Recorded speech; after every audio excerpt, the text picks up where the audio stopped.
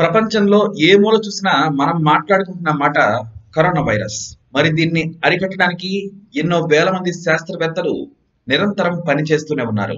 కానీ ఈ వైరస్ అంతకు అంత పెరిగిపోతుంది తప్పితే దీనికి మందు కనిపెట్టడం మాత్రం చాలా టైం తీసుకునేలా ఉంది.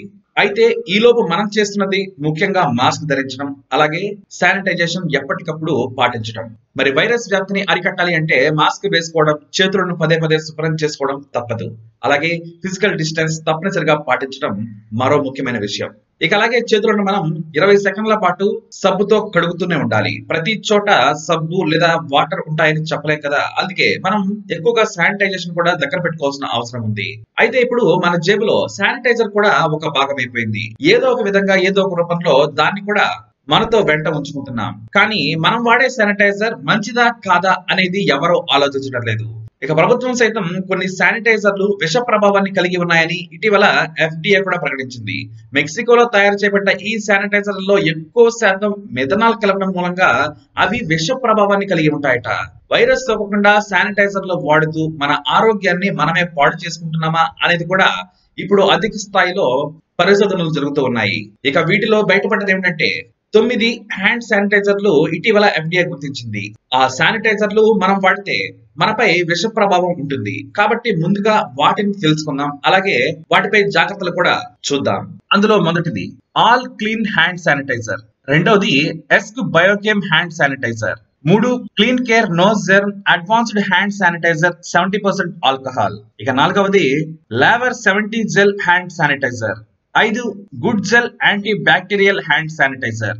ఆరోది clean care no advanced hand sanitizer seventy five percent alcohol. ఏడు clean care no advanced sanitizer eighty percent alcohol. తర్వాతది clean care no advanced hand sanitizer eighty percent alcohol. అయితే ఇప్పుడు చెప్పిన దానికి దీనికి కూడా లాట్ నంబర్ తేడా ఉంటుంది ఇక అలాగే తర్వాతది శానిటర్న్ అడ్వాన్స్డ్ హ్యాండ్ శానిటైజర్. వీటిలో మెథనాల్ ఎక్కువగా ఉంటుంది అనేది బయటపడింది. మెథనాల్ అనేది విషంతో సమానం. దీని వలన వికారం మైకం స్పృహ కోల్పోవడం అలసట కలుగుతాయి. కంటి చూపు అస్పష్టంగా ఉంటుంది. కొన్నిసార్లు ఇది అంధత్వానికి అలాగే మరణానికి కూడా దారి తీయవచ్చు. ముఖ్యంగా పిల్లలు గర్భిణీలు. ఇక మరో పెద్ద ప్రమాదం ఏంటంటే శానిటైజర్ ఉపయోగించి మంట ఉన్న చోటుకి వెళితే ప్రమాదం జరిగే అవకాశాలు చాలా ఎక్కువగా ఉంటాయి. కాబట్టి ఇళ్ళలో వంట గదిలో పనిచేసే మహిళలు శానిటైజర్ వాడకపోవడమే మంచిది.